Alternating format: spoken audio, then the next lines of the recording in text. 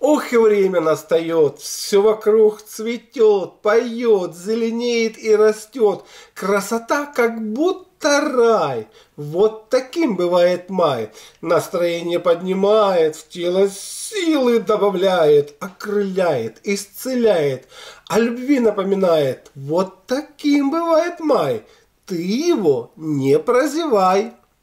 26 мая, день Гликерии назван в честь святой мученицы Гликерии. На одном из языческих праздников она смело стала обличать в идолопоклонстве, а затем разрушила их капище с помощью молитвы. За это ее повесили за волосы на мучилищном дереве и строгали железными ногтями тело. Потом били в лицо, бросали в раскаленную печь, но ничего не повредило. Ангел исцелил ее, восстановил ее кожу, содранную мучителями, так что на лице святой не было видно совершенно никаких ран. Старину этому дню народ дал разные названия. Лукерия, гречишница, лукошница, комарница, лукша – Продолжался благоприятный период для сбора целебных трав. Продолжались работы и в поле. К этому времени появлялись комары. В народе существовало очень много добрых примет, связанных с комарами. Например, сегодня их нельзя было убивать, чтобы не явилось еще больше. Приметы. Если на Лукерию комары появились, значит хорошая погода прочно установилась. А обилие комаров к обилию грибов. Комаров нет, значит в мае дождей не будет. Если комары крупные, год будет очень удачным.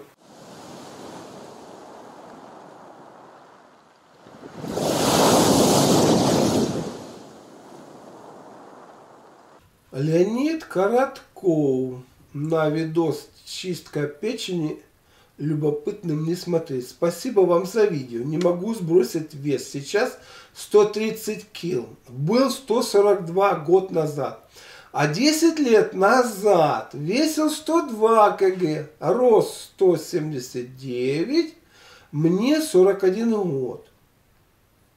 Вес уходит только когда сижу на одной воде несколько дней.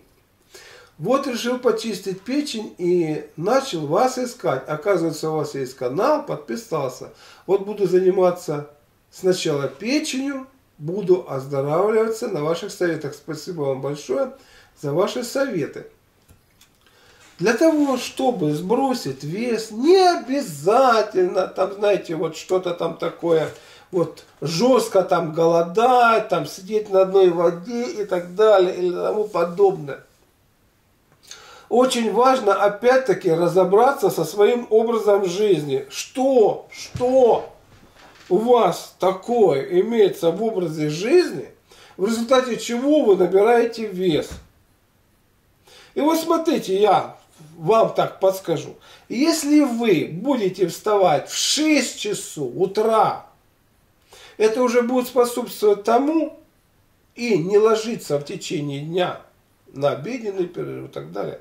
Вот в 6 часов утра вы как штык встаете. Контрастный душик вот.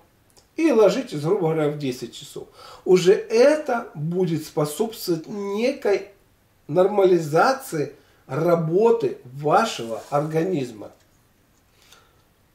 А раз идет нормализация, значит и вес будет нормализоваться. Далее. О двигательной активности ничего не сказано. Сказано только о еде. Надо чтобы была двигательная активность. Двигательная активность, причем должна быть достаточная.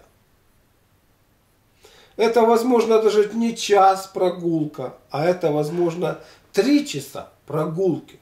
То есть, грубо говоря, полтора часа там где-то там с утра, полтора часа там вечером, чтобы у вас была нагрузка физическая, которая способствует нормализации. Далее, что вы там едите такого, как вы едите, что вас раздувает. Пища должна быть в первую очередь раздельное питание должно быть, правильное потребление пищевых этих продуктов, питание возможно, вот человек может наедаться вечером на ночь, и у него там растет этот вес. Питание, значит, дробное должно быть, раздельное, раза 4, а то 5 в течение дня, маленькими порциями. И все это приводит к тому, что человек начинает входить в свою норму, в свои физические параметры, то есть стройнеть начинает. Плюс подбор продуктов.